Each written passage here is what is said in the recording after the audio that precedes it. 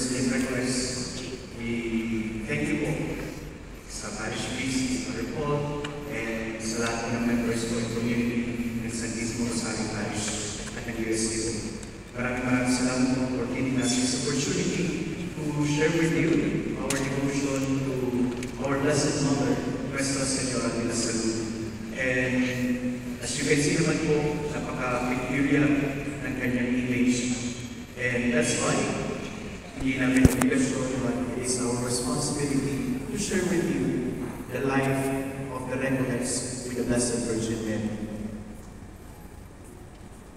Would tell us na isa ito sa mga unang dumating na images na bitbit ng mga Recollects dito sa Pilipinas. Meron kong nagsabi na 1606. Pero during those days, hindi po ito yung primary concerns ng mga Recollects. Ang gusto po na nila ng dati ay to reach Manila in order for us to serve the Filipinos po. And with that, or the, the Indios, the linguists po. At based on our records po, ang first image to arrive in the Philippines, Maria Devotion po, na dala ng mga ay ang Our Lady of Constellation po, na nakalagay o nakalublog sa San Nicolas de Tolentino ng Intramuros na nawala rin. Dumating pong image, 1634, kasi based on sa mga research na pinagtutugod ko, ito ay nakarating ng 1634. At nung pagkatapos yun, ano pong hiling ng 7th mission group of missionaries po. Once na they arrived in the Philippines, naligtas, maganda ang kanilang disposisyon, they will make sure that the image will be venerated in one of the Recollected churches here in the Philippines po. Ang image po ay bigay ng mga mongha na Carmelites din. At ah, sa kanilang paglalakbay, ito po ang naging gabay nila. Ang mahal na Birhen, ang Nuestra Senora de la Salud. At sa paglalakbay po yun, usually, kasi po mga early missionaries po, ang priority po lagi ay yung pagkain, yung may inom, kasi sa ganyan po, hindi naman masyadong malaking espasyo, kumbaga limited. So kaya medyo maliit po. And siguro dahil ito rin yung ibinigay ng naman ng mga mungha. So hindi sila nakapag-demand, din nakapag-request ng ano size, but instead, they fully accepted yung image mo. And upon arrival, siya po ay inilagay sa simbahan po ni San Juan Bautista ng mga recollects po sa bagong bayan. Ito po'y wala na ngayon at ang marker po na nananatili na lang ay makikita po natin dito po sa may planetarium kung tayo po ay dadaan dito sa may isang street papasok ng National Museum, nandyan po sa island yung marker. At ano mo naging purpose? Bakit masyadong napalapit ang Berhen sa mga natives? Mula sa lahat po, Noong mga panahon po iyon, after nila magtrabaho, pauwi sa kanilang mga bahay, nakasarado na po ang old city ng Intramuros. Kaya wala na rin po masyadong chance ang mga tao na makapagsimba, makabisit sa simbahan. And for that reason, ang lagi po nila nabibisita ay ang San Juan Bautista na nasa labas ng Intramuros. At malaking tulong po ito dahil mas lalo nila ngayong naibigay at naipakilala ang mahal na Birhen na siya lamang walang iba. Unlike sa loob ng Intramuros, may mga kanya-kanyang simbahan, may mga debosyon na pinapakilala. Kumbaga, na solo ng mahal na Birhen sa labas na malapit sa Intramuros. At aside from that, malaki rin po ang nakikita ang koneksyon ng imahe or ng tao sa kanya. May mga images po na mapuputi, may mga images po na talagang mistisa ang dating na for them, ipinakikilala ang isang imahe na someone divine na we look up. And pagkakita sa imahe, nandun yung pagiging morena to the point na higit mga kusya. At yun po yung punto na mas lalong na-attach ang mga tao. And fortunately for us Recollects, we took that as an opportunity din po para magkaroon ng relasyon ang mga tao sa mga lalagay Maria. Yung koneksyon, yung pagiging komportable na yung skin tone natin ay isa sa Kanya. At mas lalo natin naramdaman na hindi pala siya iba. Na pwede pala talaga natin siya makasama. Na hindi lang siya imahe, kung hindi isa siyang representation na pwede natin malapitan. And yun ang devotion. Pero, because of threat na maaaring na-identify ang mga simbahan sa labas ng intramuros na magiging mahina ang defense ng ating intramuros sa pagsakop ng mga pirata, ng mga lodge, ipinag-utos noon ng general, kapitan general, na ipag-iba ang lahat ng simbahan para hindi ito maging puta later on ng mga maaaring pumasok at mag-invade sa Manila. At isa po doon ang San Juan Bautista. Kaya pinasira ito.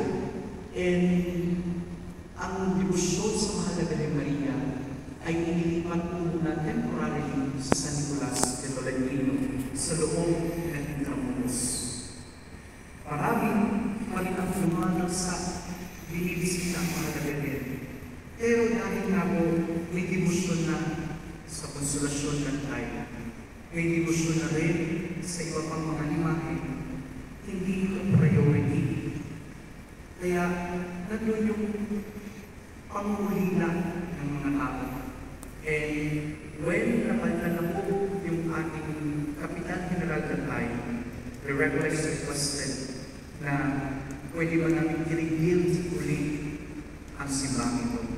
And God is with us that during the 1700s, ulit, ipinatayo. At number one na hiniling nila ng mga tao, ibalik mo ninyo sa amin ang imahe ng Nuestra Senora del Salud. At doon din mo nag-isa ang kofradina, ang Transito de Nuestra Senora. Dahil from San Nicolas, transfer po ulit. Hindi lang transfer. Iniuwi po nila ang imahe sa San Juan Bautista. Pero dahil hindi nagtagal, nasira pa rin po ang simbahan and later on, nag-decide na po talaga that in order for us to protect not only the church, but also primarily our religious from the dangers of pagsakop ng mga pirata at ng mga iba pang masasamang loob na kawan, totally i-abandon extramuros and transferred sa intramuros. Kaya nga po, for how many years, ang celebration ng Nuestra Senora de la Salud ay nandun na sa San Nicolas de Tolentino. Dear brothers and sisters, dahil sa dami mas pinili na ngayon ng mga Recoletos na ibigay din ang nararapat sa mga labirin. Dahil mas nakikita nila na hindi lang mga mistisa ang deboto ng mga nag-imahe, kung hindi mga natives mismo, mga tinatawag natin mga pure-blooded po. Kaya mas malaki ang naging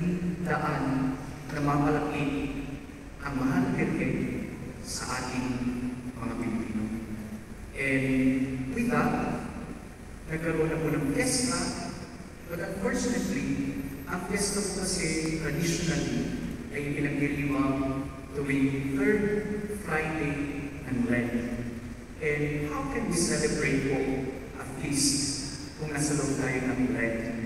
How can we say Happy Fiesta kung napaka-sober ng ating paghanda? Inihanda na tayo for the Holy Week and yet narito tayo para mag-iwan. So para sa mga tao, together with the regulars, hindi appropriate na mag-iwan ng fiesta sa loob ng Lenten season. That's why we transferred it to other days.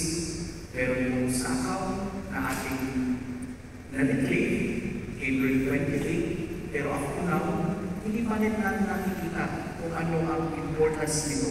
But we are still trying to dig in our research kung anong relasyon ng April 28 sa ating mga. But one thing for sure, yung ating huling naitalan ay February. Ito ay Sunday after ng Lady of Candelaria. Eh, sa po ay yung inilagay sa feast ng esposo ng ating nanay na Sunset, November 17. I-present po natin ito sa council ng mga Recoletos six years ago to identify ano talaga ang feast. And they decided November 17 every year. Kaya kung ngayong taon, or simula ng 2016, ibinalik natin ang celebration ng kapistahan niya, November 17. At yun po yung kunting history. Ipapasok ko lang po doon yung pagkaiba ng San Nicolas de Tolentino during World War II. At dahil nasira ang simbahan, malaki na itong setback po sa mga libogo. Kasi hindi na nila alam kung nasaan ang imahe. Nalilito na sila dahil from San Juan Bautista, inilipat sa San Nicolas, inilipat na naman sa San Juan Bautista nung pinaayos ito, nung nasira ulit, nalipat sa San Nicolas ulit, Intramuros. Pero during 1940s to 50s, hindi na nila alam kung saan yun. Because inilipat naman siya sa San Sebastian Basilica po natin, dyan sa may recto. At since malakas ang devotion sa Del Carmen, kumbaga, bisita ang imahe. Kung may mag-devotion, meron. Pero since ang bahay na yun ay dedicated kay mas nabigyan ng emphasis si Del Carmen. Kaya unti-unti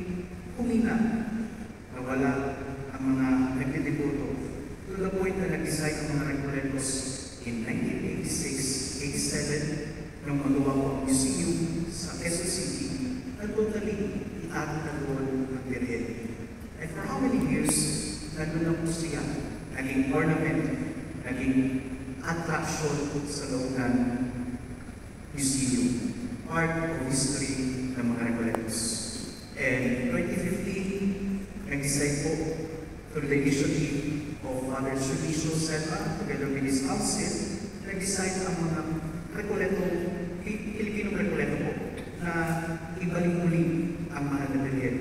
Ipakilala muli siya dahil siguro inihanda rin tayo through the book, the spirit dahil mapalapit na ng pandemic, mas siguro kaya siguro tayo binigyan niya ng pagkakataon. Inihanda niya tayo for 5, 3 years or 4 us, will help us na mag-intercede sa mga hiling natin sa Kanya. So yun po, at present, saan po sila makikita? Sa San, San Nicolas de Tolentino Parish po ng Congressional Extension po sa Quezon City. Yun po yung kanyang paglalakbay. Yun yung kanyang mga naitala. And mapapansin ko naman ninyo sa kanyang imahe, almost katulad din naman po siya. Ito po yung pilgrim image and yung original po is nasa, o yung venerado po, ay nasa San Nicolas Campo. So, kung makikita po ninyo, ang image po ay 26 inches lamang po. At nandun po yung mga sinasabi natin bago, mga precious stones. Sabi nila, ng ilan, yung daw po maliliit na bato, po yun sa hikaw ng mga napagaling na nag-offer ng Christos. At yung malalaki daw po, yun naman ay Christos po dahil sa mga singsing ng mga kalalakihan. And yun po yung kalimitan ay binibigay sa kanya. Kaya po napuno siya ng alahas. Napakaliit, pero puno-puno ng mga precious stones. At lang din po sa kanya, yung kanyang ulo ng mahalaga din, at yung kanyang mga kamay, at yung kanyang lingyo, magkakaiba po ng materials. Ang ulo po ay made of wood, ulo ng mahalaga din. Ang kamay po ng mahalaga din, at ang santo lingyo ay gawa sa ivory. Isa pa rin po itong malaking kalasipan. Ano po ang original? Ang ulo po ba? At kinaya na lang ang kamay at ang inyo nung mga panahon ito ay naapektuhan ng ligmaan o ng paglipat-lipat or talagang ivory siya at ang ulo lang ang nasira.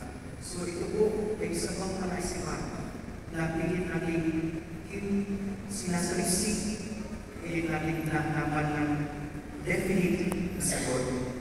Ang ikatlo po ay yung kanyang velo.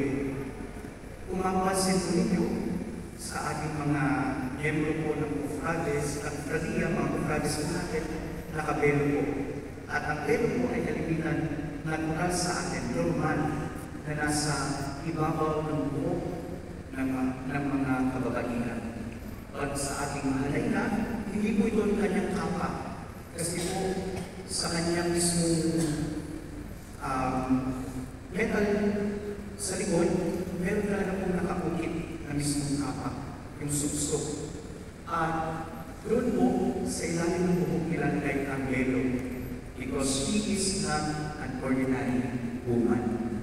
Yun po yung binahagi ng namayamang laging in charge sa museum, si Reverendo Padre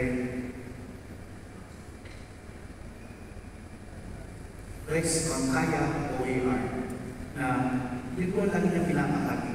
Natutunan niya ito na sa ilalim ng web ng buo nandun ang kapa po ay simbolo na she is not an ordinary woman.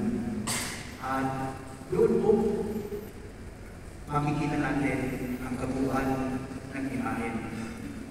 Ano po ang mga milagro na kalimitan na-associate sa kanya? Noong mga nakaraang po, 2015, nangihingi tayo ng mga answered petitions. At sa every fiesta, meron mga testimonials. At ilan po sa mga naitala ay una, yung kung humihingi sila ng dasal para biyaya sila ng anak. And yung una pong naitala ay nasa 5 years old na po yata ngayon or 6 years old na ngayon. At marami pa rin pong nagbahagi na sila ay nabiyayaan ng anak.